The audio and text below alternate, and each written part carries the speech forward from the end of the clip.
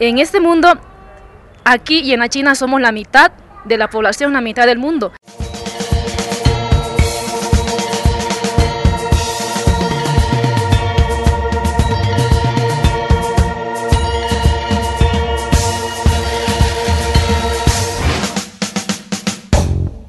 Bolivia y Latinoamérica están presenciando en este momento un avance político, social y cultural de las mujeres sin precedentes en la historia.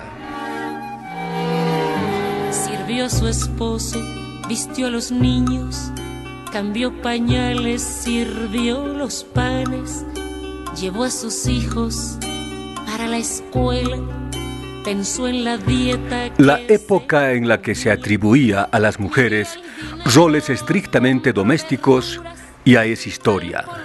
Y hoy, a todo nivel, se está abriendo un amplio debate sobre los espacios que en justicia corresponden a hombres y mujeres en una sociedad democrática. El proceso comenzó hace siglos y fue posible por el aporte de cientos de mujeres que colocaron su granito de arena para construir el nuevo escenario de igualdad de oportunidades. Valerosas mujeres de las artes, la política y el sindicalismo abonaron un terreno que hoy empieza a mostrar frutos. Sí, antes éramos discriminados, ¿no? Lo más eran los hombres, ¿no?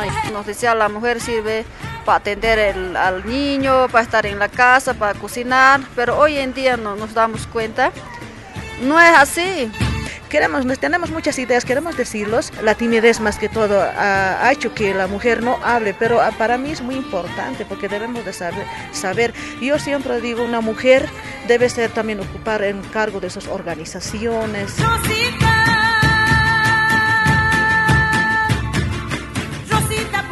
que es una participación, es la lucha, es la conciencia, con pensamientos sanos, con construcción para llegar a una vida mejor, así podernos ver analizando todo el sistema en actualmente que vivimos. Entonces, yo creo que hay un proceso de desmantelamiento de esta construcción histórica del género desigual que, que, que, entrega a los hombres la primacía en lo que corresponde a la autoridad y entrega a las mujeres, entre comillas, el reinado del hogar. Forjar este proceso inclusivo tuvo un alto costo en marchas, movilizaciones y todo tipo de acciones individuales y colectivas. Con el amparo de la nueva constitución política del Estado, que es la madre, la magna, que ahora dice con enfoque de género, con paridad, igualdad de oportunidades. Que ya ahora como mujeres nosotros eh, conocemos también cuál es la, parte o cuál, hasta dónde abarca el tema de los derechos de las mujeres. Lo que nos está faltando es el, apoderamiento, porque nosotras mismas hay veces nos, estamos poniendo un poco delicados, que nos, no asumimos con todo lo que nos corresponde nuestro derecho. En el caso boliviano, ese gran colectivo de mujeres ocupan cargos de dirección en entidades nacionales, ministerios y la Asamblea Legislativa Plurinacional. La Asamblea expresa la pluralidad de opciones políticas de las mujeres bolivianas.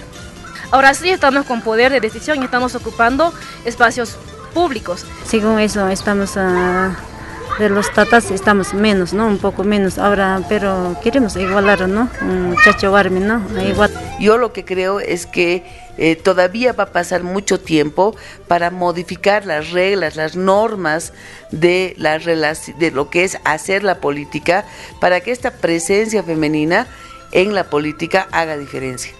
Según reportes de organismos internacionales, la mayor presencia de mujeres en la política se ha dado en Bolivia, Nicaragua y Costa Rica, aunque los avances también son importantes en Argentina y Brasil.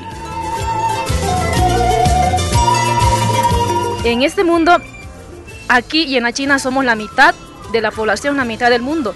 Y los problemas nos, nos afectan a todas, como mitad de, de, todo tenemos que hacer política. O sea, tenemos que estar incluida en todo, no solamente en la, en la, en la casa. Y cargos, no sé, hace senadores, diputados, hasta presidente, ¿no? Queríamos uh, avanzar, ¿no? Se está abonando bien el terreno para ampliar los derechos de las mujeres. Un campo más en el que florece la democracia boliviana. Volveremos a vernos en espejos.